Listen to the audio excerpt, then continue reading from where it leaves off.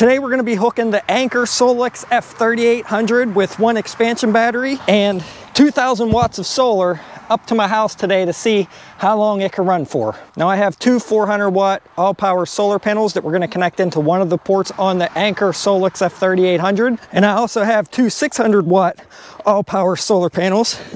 Whew, those ones are actually lighter than the 400 watt ones that I'm gonna connect into the other port of the Anker Solix F3800. Now these 600 watt panels have an open circuit current of 52 volts and the 400 watt panels have an open circuit current of 45 volts. And if you've seen my Anker video previously on the review of the unit, it'll take up to 60 volts of input. So we're gonna have to parallel these panels together so we don't go over that 60 volts. Would have been nice to see a higher limit on it, but it can take in up to 25 amps on each input. So we're gonna connect four of these panels and see what kind of input we can get on this nice sunny day.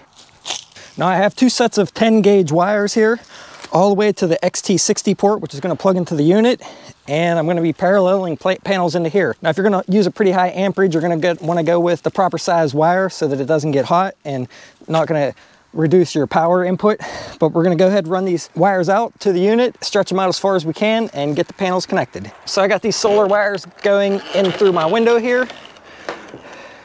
And then this is the cable that we're gonna be connecting the solar generator to my house through my generator interlock port here. And I showed this a little bit in my initial review video, so go watch that if you wanna see more about that and how it works. And I also cut this little piece of foam to fit in this window so that I can shut the window on here, getting prepared in case wintertime comes and I run out of power. I have a good way to prevent any air from coming in. And I actually use this foam out of a scooter that I just received. So that's what this foam's from. But I'm gonna put the foam in there, run the wire through it. I still gotta cut notches for this wire. And it will all be sealed up in case of an outage during winter.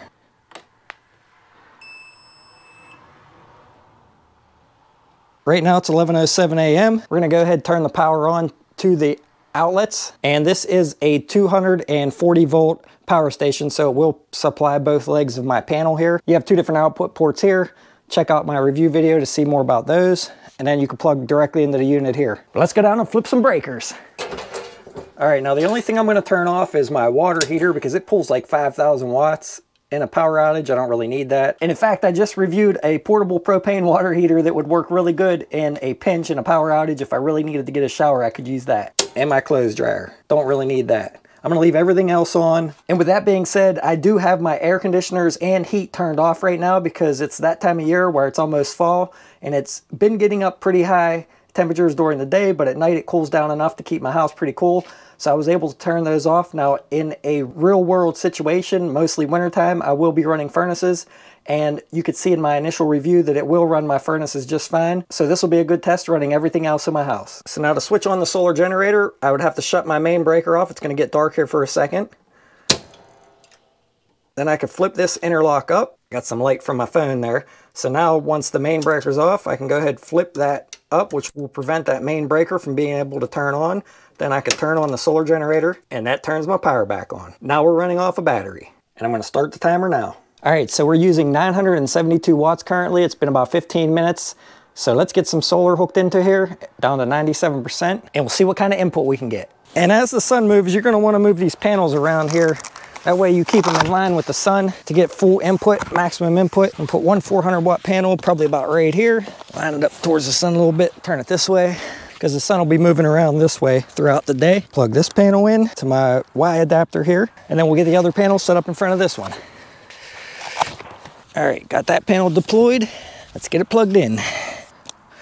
So currently with the two 400 watt panels plugged in, I'm getting 559 watts of input and 564 watts of output. So it should almost sustain 96% minus a little bit of inverter inefficiencies with just having those two panels plugged in with the current load that my house is drawing. And this load's gonna fluctuate because I have two refrigerators connected currently a big stand-up freezer, and whatever else kicks on and off throughout the day. It should fluctuate anywhere between 5 to 1100 watts unless I turn on the oven, which it will power, but it will use a lot of wattage if I do that, or the microwave or things like that. If the air compressor in the garage kicks on, So it will fluctuate up and down, but currently it should sustain this. So now let's get those 600 watt panels plugged in as well. Get this first one laid out right here. Pretty easy to deploy these 600 watt panels. However, there is no kickstand, so it's a little bit harder to angle these towards the sun, but it's good when sun's overhead. And if I do this right, I shouldn't need any extension cables. Get this one plugged in first. And we'll get this panel over here. That way we don't need any extensions. So if you have a big enough area, these panels are actually pretty easy to deploy and pretty nice to use. I'm gonna go ahead and plug these ones in first. I gained just over 300 watts with this one. So now let's see what we're getting. 1,187 watts of input, now 1,200 watts. And I'm only outputting 550 watts. So this thing should charge back up to 100% in no time. Now one thing to keep in mind when using these panels because they don't have stands and you have to lay them on the ground, when it's really hot and sunny out, I've had days where it's been over 90 degrees and I deployed these panels and it did kill the grass underneath from them getting hot. So keep that in mind. Now, a lot of my grass is dead because we haven't had rain here in a while. So I don't really care. And today should be in the high 80s. So maybe it'll kill it, maybe it won't. But like I said, it's already half dead anyway. With these panels having kickstands, it's a little bit more airflow. And either way, I love both panels. These ones have really good, fast, easy deployment for charging up units quickly. These you can angle a little bit more towards the sun to get better output sometimes, but they both work very well. And again, those are ALLPOWERS panels. I'll put links down below in the description to everything I talk about today and use the solar generator, the Anker Solix F3800, the all power panels, the 400 and the 600 watt panels, as well as some of the other solar products and items that I use. So check out those links if you guys are considering purchasing some of this stuff and it'll help support the channel. And let me know what you think below. Let me know if you ever hooked up a solar generator to your home, how long it lasted, what you ran with it, and if you had one of these, if you don't have one, how you would use it. So one of the main questions I always get about a solar generator is why don't you just get a gas generator? For one, a solar generator or a power station battery backup is a lot quieter, a lot more environmentally friendly, but to be honest, it's not gonna fit everybody's needs. A really perfect scenario is to have both. That way, when the power station dies on a cloudy day or rainy day, that's usually when you lose power you're not gonna have good solar. So then you fire up your generator to recharge the battery and then you can shut your gas generator off, run the battery down until it gets close to being depleted and then charge it back up with the generator. Then you don't have to have your generator sitting there running 24 seven to power your home. And that's how I intend to use mine in a true power outage. But the solar input is definitely nice to have and free energy, especially on sunny days. So it's been 37 minutes and like I said, down to 96%, we have 1190 watts of input going in and 774 watts currently going out. It says it should be totally recharged at this rate in 1.4 hours. So we're just gonna keep an eye on it throughout the day and see how it does. All right, we got the power cranking now. It's been just over two hours. We're at 98%. I was reaching 100%, getting close to it. So I turned on my dehumidifier in my basement and then I turned my furnace, uh, well, one of my furnaces, I have two of them, turned it on recirculate. Now we're putting out 1800 watts and we're taking in 1237 watts. I didn't want to waste that free energy coming from the sun, so I turned some other stuff on and it's been running perfect. I actually gained a little bit of charge since we started and it's been two hours so far. Check back with you in a little bit. All right, it's been just over three and a half hours. I'm taking in 1213 watts of solar. From the 600 watt panels, I'm getting 16.26 amps at 666 watts. And from the two 400 watt panels, I'm getting 17.59 amps at 521 watts for a total of right around 1200 watts. And the output just went down to 1038 watts. Just over three and a half hours, we're down to 92%. But again, I have a few more things running because I was trying to use some power, got my furnace recirculating, got a dehumidifier on, a couple ceiling fans now, and just trying to use some power up. But very good overall so far. So a lot of people always debate whether or not these are worth it rather than using a gas generator. And these aren't gonna fit everybody's needs perfectly, especially on cloudy days. But so far, three and a half hours, just imagine if you were running a gas generator for three and a half hours, you'd be paying for gas and wear and tear on that for that amount of time. This is super quiet, still at 92%, getting free energy from the sun. Now grant you, this system is gonna cost you a lot more by the time you pay for this unit here, plus all the solar panels that I have out there running this. Honestly, in my opinion, what's best is to have both this and a gas generator if you can afford it. That way on cloudy days, you can use the gas generator to charge this up and then use this to power your home once it gets fully charged. And then you don't have to listen to or supply gas for that generator that's gonna run nonstop. It'll actually give it a break, especially if your home's not using a ton of energy Mine is using 1077 watts right now, but that's a little bit high. I have a lot of things running, router, modem, security cameras, two refrigerators, a freezer, furnace running on recirculate, a couple ceiling fans, and probably a bunch of other stuff drawing power.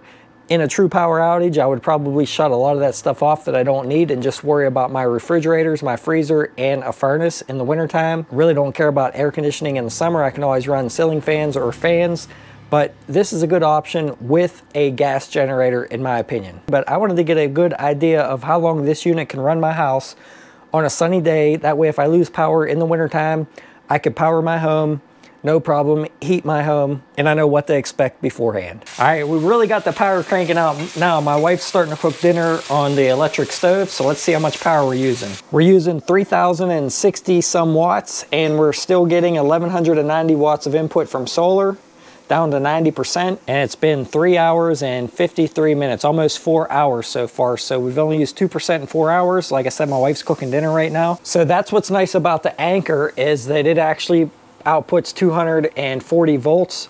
So you could power larger items like electric ranges and other big electric items. Just know that if you do that and you're drawing a lot of wattage, like 3000 watts, you are gonna drain this unit fairly quickly. Right now it's saying I have, well, it's fluctuating, but it's saying I have 7.7 hours remaining, now 3.1 hours remaining. So it's gonna fluctuate as the stove kicks on and off. Now it's saying in 12.8 hours it'll be recharged, 6.5 hours remaining. So as the stove kicks on and off, it is gonna fluctuate there, but we'll see how much power we run down to when she gets done cooking on that stove. But the stove definitely draws a lot of watts, about 2,500 watts or so with one burner. And I also showed using the stove as well as some other things in the initial review video. So if you wanna see how that worked then, go check that out. And thanks for watching everyone. It's all because of you that I make these videos. So leave a comment down below, give me some feedback. And like I said, thanks for watching. All right, everyone, it's been a few hours since my wife was done cooking dinner. The power station was drained down to about 88% when she was done cooking. I let it charge back up for a little bit. It's been seven hours since we started this test and the panels are just starting to get in the shade a little bit. The sun is starting to go down behind those trees. So we're gonna see 2000 watts of solar panels. We're gonna see what kind of input we're getting now into the power station and what percentage it's at. So just over seven hours and we're down to 91%, 524 watts of output, 520, and still 360 watts of input coming in, even though the sun's starting to go down. Probably not much longer, I won't be getting any input. From the two 600 watt panels, I'm only getting 42 watts because they're mostly in the shade now. So most of this 350 watts, right around 310 watts of it is coming from the 400 watt solar panels and the other 38 watts is coming from the 600 watt panels. So that's where the panels with the kickstands are gonna come in a little bit more handy is when the sun starts getting real far away and starts going down, you'll be able to angle the panels with the kickstands a little bit better than the ones that you just lay flat on the ground. So you get a little bit more out of the 600 watt ones when the sun's overhead, but then you get a little bit more out of the 400 watt ones when the sun is further away or very early in the morning. All right, everyone, so today is actually the next day. About 7.30, the sun went down a little too much, wasn't really gaining enough wattage, so I put my solar panels away. So yesterday, during the day when I had solar out, I ran the unit for 7 hours and 31 minutes. And when I unhooked solar, even after doing everything, cooking dinner, everything like that, I was still at 90% charge on the Anker Solix. And then after that, I ran my house for another six hours just off of this unit, taking the unit from 90% down to 30% in six hours. And it seemed like the wattage was no less than 430 watts to normally around 700 watts. It never really dropped lower than that. In a true power outage, I would probably go around and unplug a lot of things that I didn't need because just off the top of my head, some of the things that are running and those blinds are annoying me. the things that are running is my router, my modem, a bunch of security cameras, an NVR recorder, two full-size refrigerators, a stand-up freezer, and not to mention a bunch of other loads that are probably just drawing random power. But at 12.30 in the morning, it said the unit had about four hours to run, which would have probably shut the unit down and shut my power off somewhere around 4 to 4.30 in the morning. So I shut the unit off at about 30% at 12.30, almost 1 o'clock in the morning, and turned my grid power back on. This morning when I woke up, I connected it back to the solar, haven't been running my house off of it, but just let, been letting it charge from solar to see how long it would take to charge back up. And it's been charging from 10 o'clock this morning. It is now 1.16 in the afternoon, so about 3 hours and 15 minutes. And I got it from 30% back up to 67% and it's pulling in 1244 watts of input currently from those solar panels. So it's actually charging up fairly quickly. It should hit 100% here by the end of today.